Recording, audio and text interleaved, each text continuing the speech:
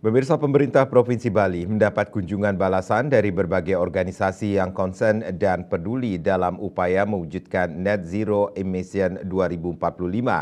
Pertemuan tersebut juga bertujuan untuk melihat sejauh mana progres Pemprov Bali dalam upaya pencapaian net zero emission 2045. Seiring dengan Jumat 4 Agustus 2023 pagi, pemerintah Provinsi Bali mendapat kunjungan balasan dari tim Bloomberg dan beberapa perwakilan organisasi internasional yang konsen untuk mewujudkan net zero emission 2045. Kunjungan tersebut juga diisi dengan berbagai kegiatan diskusi dan penyampaian presentasi dari berbagai pihak yang terlibat di Gedung Kerte Sabu, Komplek Rumah Jabatan Gubernur Bali. Pertemuan tersebut juga bertujuan untuk melihat sejauh mana progres Pemprov Bali dalam upaya pencapaian net zero emission 2045 dalam konferensi persnya, Kepala Dinas Perhubungan Provinsi Bali Samsi Gunarte menjelaskan ada dua sektor yang memiliki pengaruh besar yang menjadi pekerjaan rumah Pemprov Bali dalam upaya menurunkan dampak emisi di Bali, di antaranya transportasi dan energi. Selain itu, dari berbagai pemaparan atau presentasi yang disampaikan, Gunarte berharap akan adanya feedback untuk memaksimalkan program net zero emission 2045 tersebut. Jika kita tahu persis berapa kira-kira ya Provinsi Bali menindaklanjuti uh, pertemuan dari uh, setelah bulan Maret yang lalu Pak Gubernur datang ke Washington.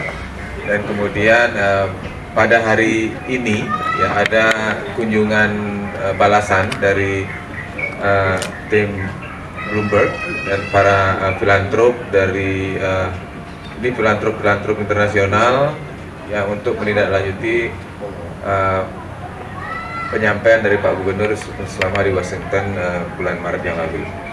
Dan uh, mereka uh, pada hari ini mencoba melihat uh, sejauh mana progres kita di dalam uh, upaya pencapaian net zero emission pada tahun 2045. Nah, uh, dari seluruh pemaparan ini kita meng, uh, mengharapkan ada feedback ya, berkaitan dengan perencanaan kita dan kemudian barangkali bisa membantu munculnya inisiatif-inisiatif yang kira-kira bisa dikembangkan nanti untuk uh, direct. Lebih lanjut, Kadis Bali Samsi Gunarto menegaskan ke depan target pembangunan yang akan dilakukan untuk mewujudkan Bali Zero Emission di antaranya melakukan sosialisasi kepada masyarakat untuk bersedia beralih menggunakan kendaraan bermotor berbasis listrik bertenaga baterai. Sebetulnya lebih banyak pada upaya untuk bagaimana memperkuat uh, masyarakat dan memastikan mengencourage masyarakat untuk mengarah kepada penggunaan energi bersih dan uh, penggunaan kendaraan listrik ber, uh, kendaraan bermotor listrik berbasis baterai. Itu yang yang uh, menjadi pokok. Tapi ini akan bergerak juga mengarah kepada sustainable tourism.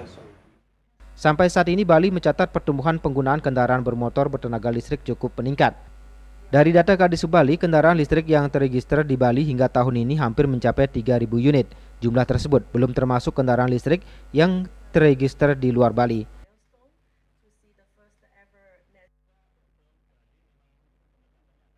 Ari Maja melaporkan.